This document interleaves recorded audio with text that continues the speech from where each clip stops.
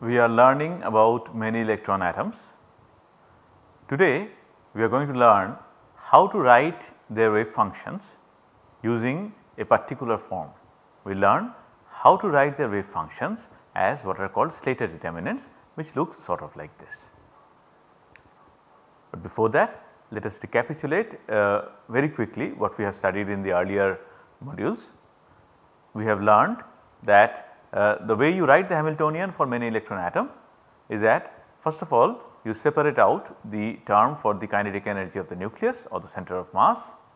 What you are left with is a sum of n number of kinetic energy terms one for each electron, sum of n number of ele nucleus electron proton electron you can say uh, attraction terms minus q n e square sum over i to n 1 by r i and you have this problematic plus q e square it is a double summation 1 by r i j terms. So, uh, these turn out to be the uh, 1 electron Hamiltonians these ones that is not a problem, but uh, what you are left with is uh, this electron electron repulsion term which we have established that we cannot ignore. So, uh, what we do is that we incorporate this electron electron repulsion term into the shielding constant and we work with not the actual nuclear charge, but the effective nuclear charge. And that is how we write these uh, 1 electron wave functions by replacing the uh, actual nuclear charge by effective nuclear charge. And uh, for helium atom for example the Hamiltonian is going to be a sum of 4 terms then. I have shown the terms due to each electron in a different color. And the wave function would also be a product of two wave functions one in electron 1, one in electron 2. And to start with we work within the ambit of orbital approximation which says that the orbitals here are essentially the uh, well the wave functions here are essentially atomic orbitals. In case of helium these are 1s orbitals. Uh, we are now familiar with the form of 1s orbitals only radius dependent part no theta uh, theta phi dependence and here once again uh, the only change from the hydrogen atom system hydrogen atom scenario is that you write Z effective instead of actual Z. So, this is how we have formulated the uh, Hamiltonian, this is how we have written the wave function. And then uh, we did a quick fact check and we saw that for helium atom uh, when we work with Z effective actually we have not told you how we get this sigma but there are ways I think most of you would know of the empirical rules by which one can determine the value of sigma for different kinds of electrons in an atom and uh, using this we uh, showed you that you get a theoretical value of energy which is close to the actual experimental value that is there. And the point to note is that the theoretical value is more positive than the experimental value which is the real value. Okay. We are going to have uh, more to say about this uh, in the future modules. Next we came to this very very important concept of spin. I uh, sort of rushed through this part and once again I am going to rush through this part today, but uh, I hope this is something familiar to us.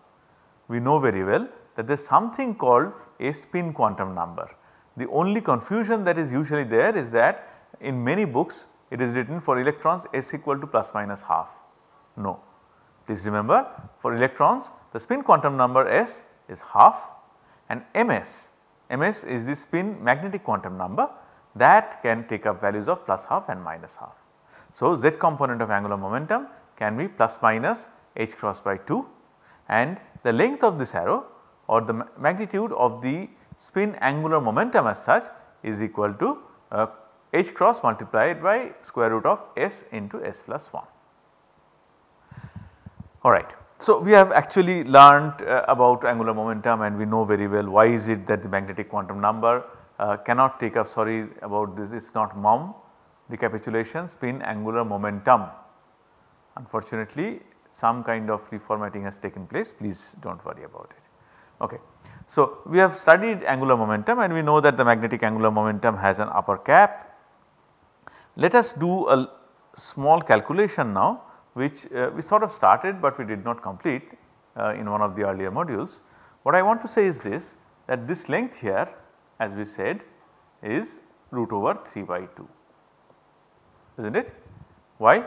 Because s is equal to half, half into 3 by 2 that is 3 by 4 under root sign root 3 divided by well 4 comes out of the root sign and you get 2 in the denominator.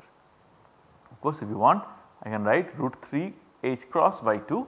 The reason why I did not write it is that in quantum mechanics often you write quantities in terms of h cross, h cross is like the unit. Okay.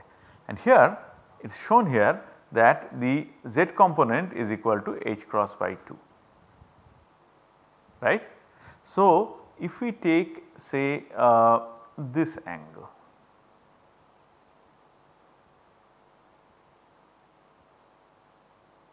theta. What is cos theta?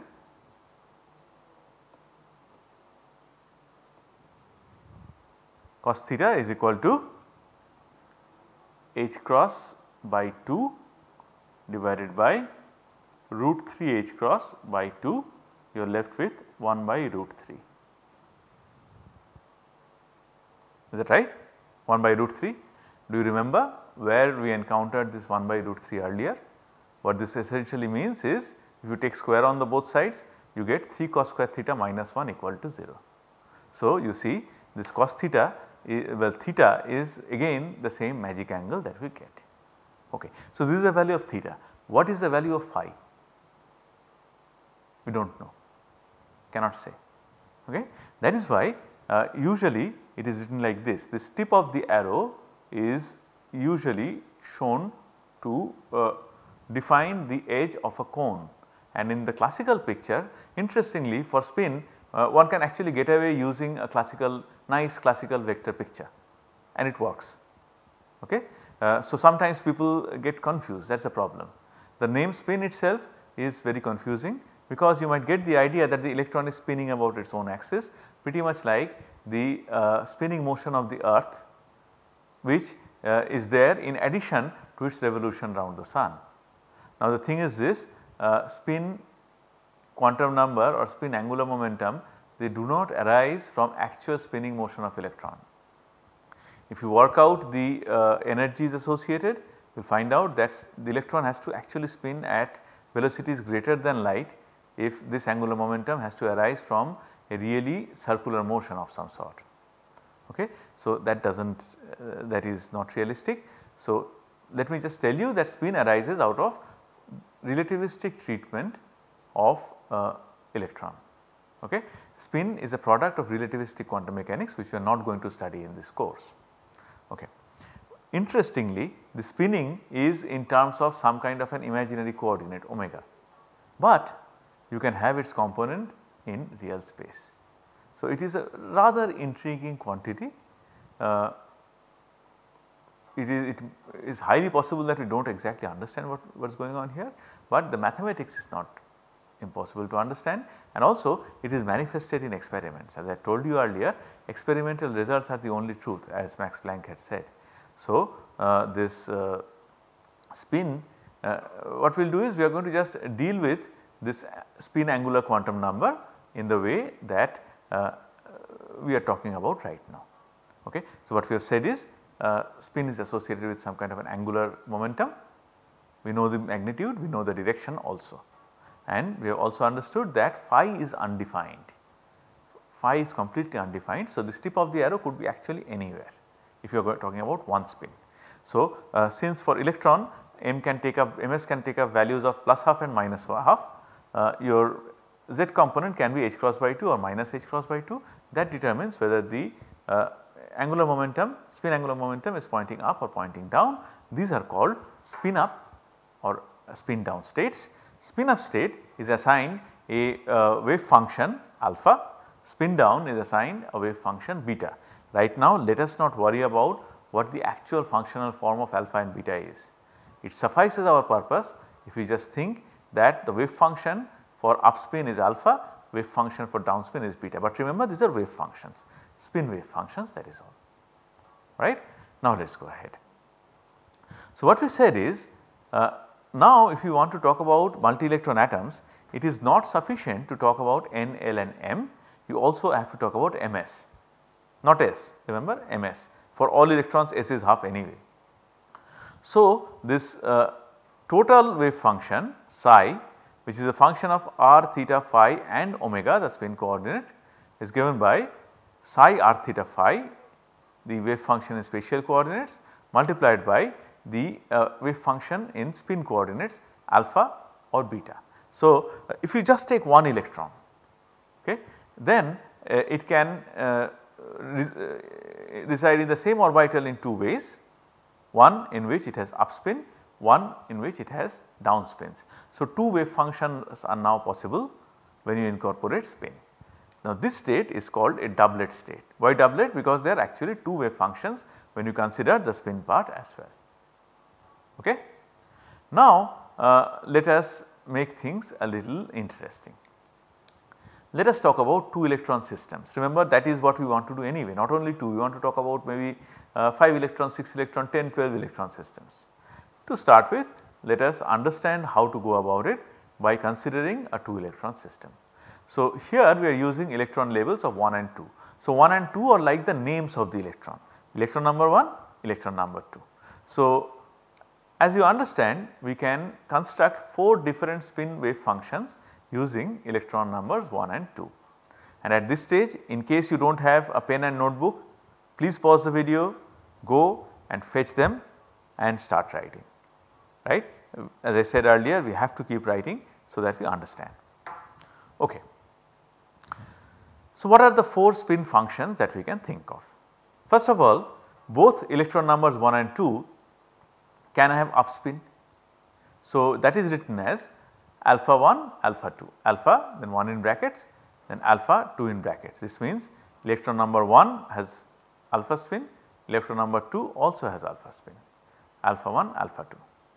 Similarly both can have beta spins that wave function will be beta 1 beta 2 no problem so far. Things get interesting when we think of mixed spin systems. What happens when one spin is alpha, one spin is beta?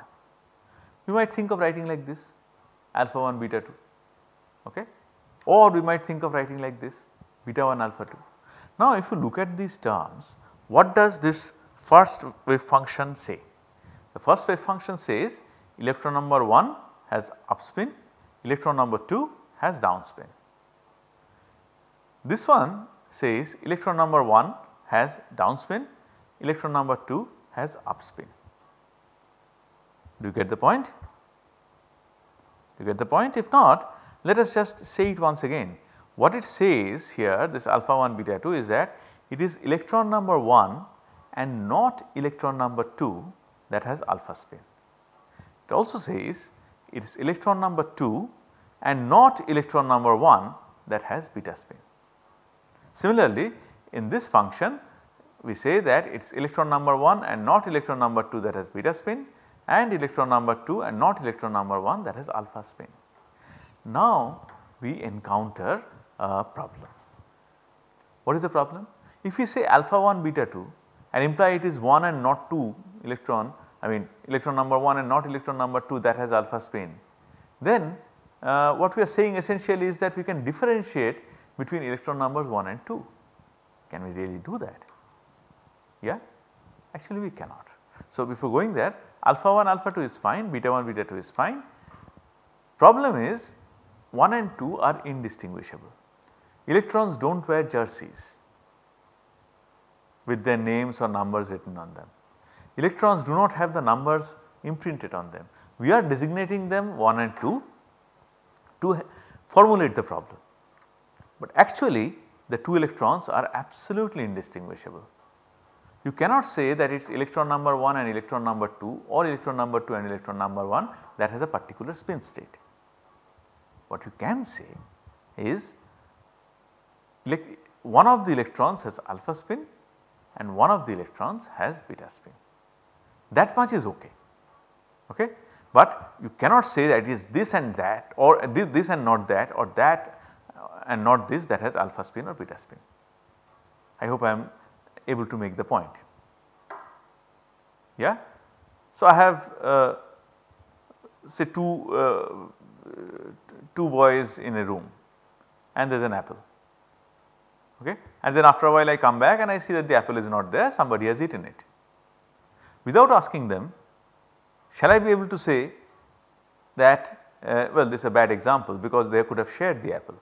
Let us say uh, they cannot let us uh, say that it is uh, an apple that cannot be shared.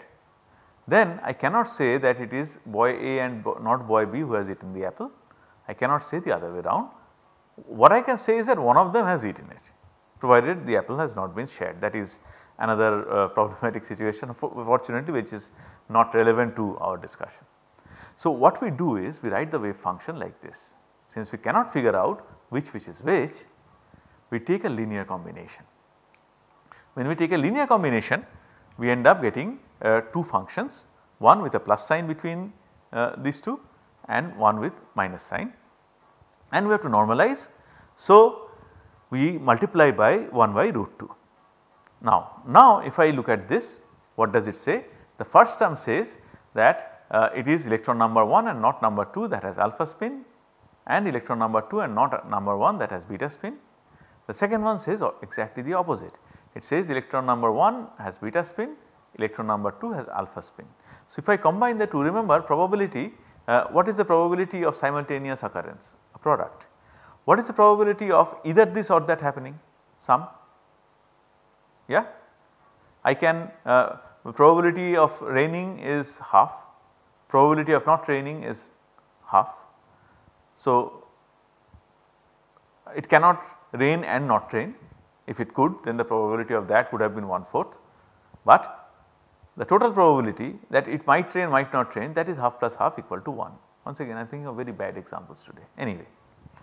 So, uh, what is the significance of this plus and minus? At this point nothing, significance is there, profound significance is there we will come to that. But at this point we are just combining the two terms using plus or minus the two terms which say that one of the electrons has alpha spin and the other one has beta spin. Okay. I can say that using plus or minus there is no reason at least now to discard one in favor of the other. So, we write both. So, what have we learned? We have learned that if both the spins are up or both the spins are down then you can happily write alpha 1 alpha 2 or beta 1 beta 2. If one is up spin one is down spin then we must necessarily write two terms. In the first one electron number 1 should have alpha spin, electron number 2 should have beta spin in the second one it should be other way around and then we connect them using uh, either plus or minus sign. Okay. So, uh, we take these two linear combinations. Now, to uh, develop the discussion of why these linear combinations are important at all, we will uh, bring in the concept of symmetry. What is the meaning of symmetry? Let us say I have an exchange operator. Exchange operator means uh, an operator by which the labels are interchanged.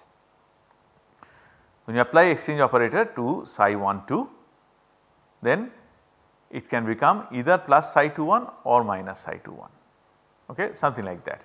Not all wave functions will be like that but uh, we are going to work only with wave functions that are either symmetric, symmetric means eigenfunction of 1 the sign is plus anti or antisymmetric, antisymmetric means eigenfunction of minus 1 uh, we have minus sign here.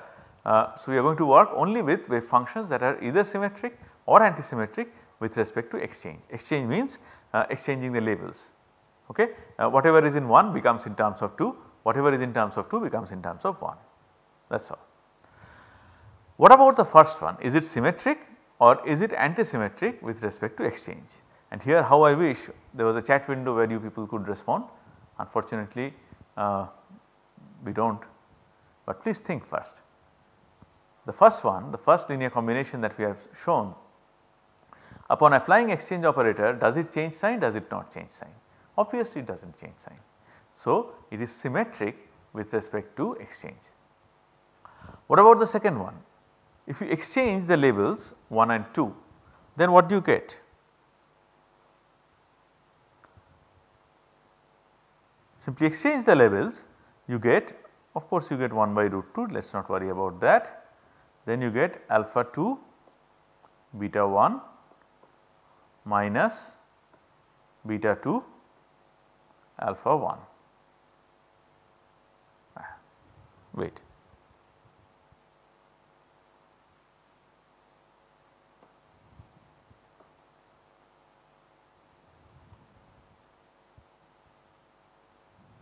Minus this is beta 2 alpha 1. What have I done? I have just interchanged 1 and 2. So, what do I get here? I get 1 by root 2. Let us take this second term first and write in the same sequence as far as possible. Beta 2 alpha 1 is the same as alpha 1 beta 2 minus but wait there is a minus sign in front of this. So, I had better take this minus sign out minus 1 by root 2 alpha 1 beta 2. Now, I can write another minus because this is plus sign minus and minus is plus minus uh, I will write it as beta 1 alpha 2. Okay. So, what is that? You recognize it? If this is psi then this is minus psi is not it? So, after erasing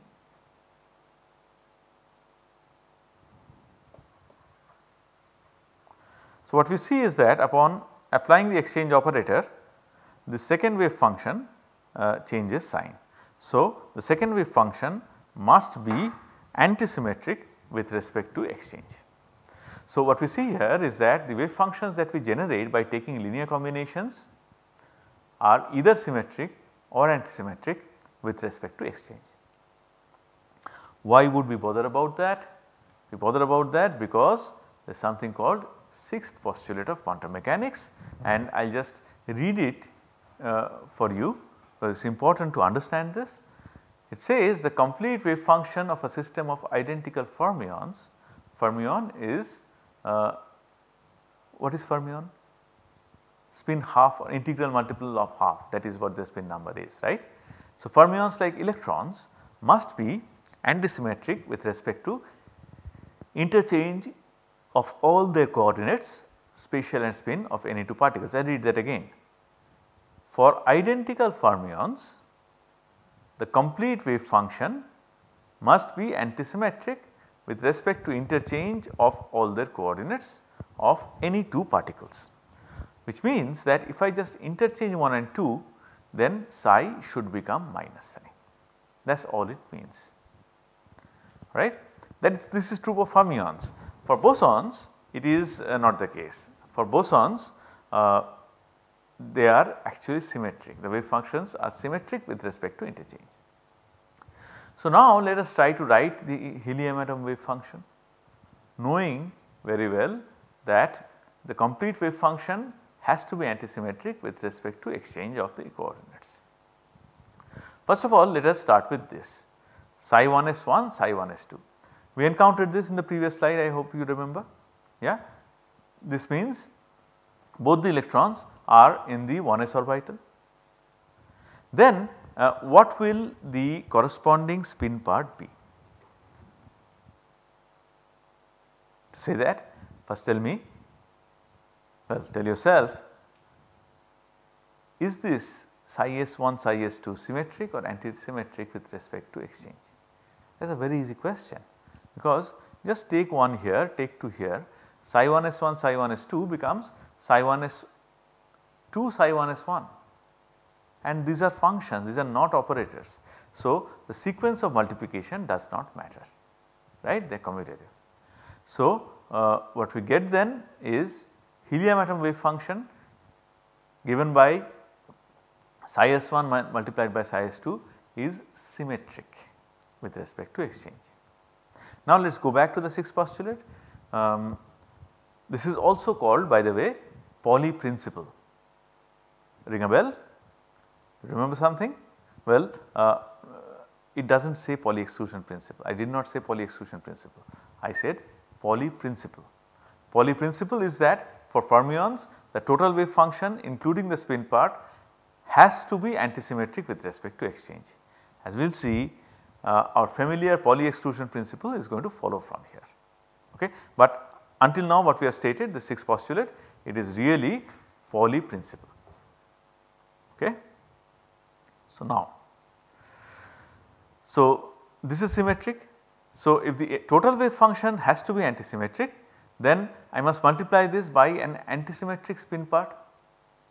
Remember there were 2 spin parts that were there well 2 kinds of spin parts alpha 1 alpha 2 symmetric or antisymmetric symmetric. So, if I just write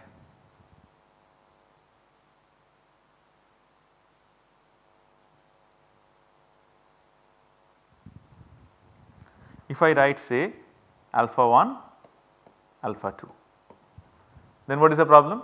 The problem is this is symmetric with respect to exchange, this here is symmetric with respect to exchange. So, the product is also symmetric, but then we have just learned that for identical fermions the complete wave function must be antisymmetric with respect to exchange. So, this is not an acceptable wave function. The moment you bring in the spin part, some of the special uh, wave functions are not going to be allowed anymore.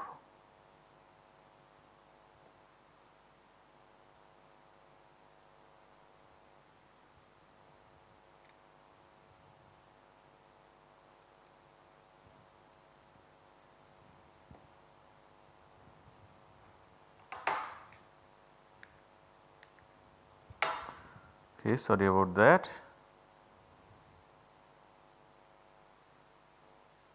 Okay, let us go ahead.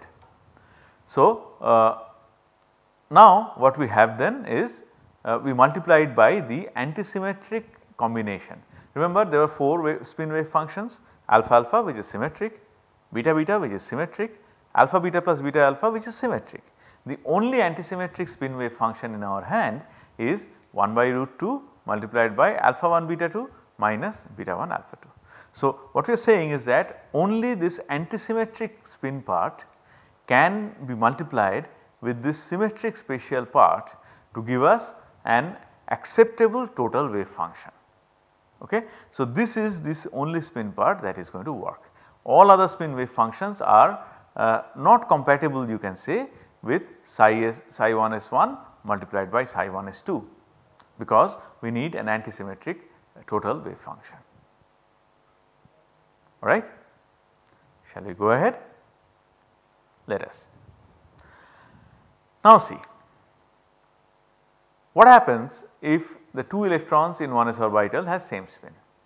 So, we what we imply by saying this is that at the moment we say that alpha 1 alpha 2 beta 1 beta 2 these are not going to exist it automatically says that 2 electrons in 1s orbital must not have the same Uh, ms numbers not, not the same spin if I say loosely okay and that essentially is your Pauli exclusion principle that in an atom for an electron all 4 quantum numbers cannot be the same okay. If n l m are the same at least ms should be different okay.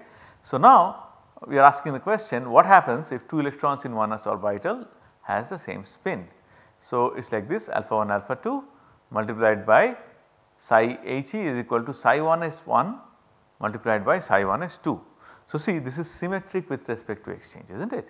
So since it is symmetric it does not stand the test of your uh, 6th postulate of quantum mechanics. So it cannot be taken it turns out that upon uh, applying the exchange operator you get back the same uh, psi 1 2 psi 2 1 wave function right no change in sign so, this is not allowed by the 6th postulate of quantum mechanics.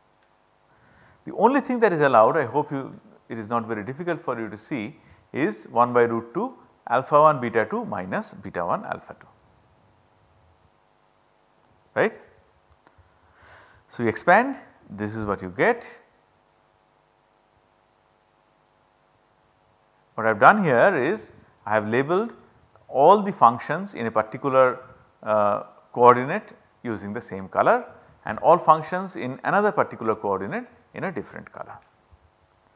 Now we are already familiar with matrices because we talked about them while discussing your uh, angular momentum. Now see uh, this no sorry not matrices determinants. Now when you look at this do you see that it is very simple to collect the terms in the same atom sorry same electron and write this whole thing in the form of a determinant. Let me do it for you. First of all in this 1 1 location we are going to write psi s1 alpha 1. What is that? Psi s1 alpha 1 that is a uh, spin orbital. Then psi s1 alpha 1 is multiplied by psi 1 s2 multiplied by beta by 2.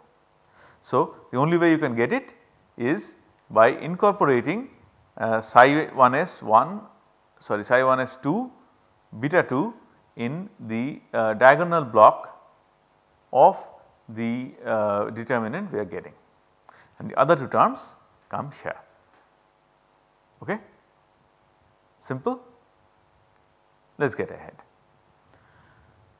Alright.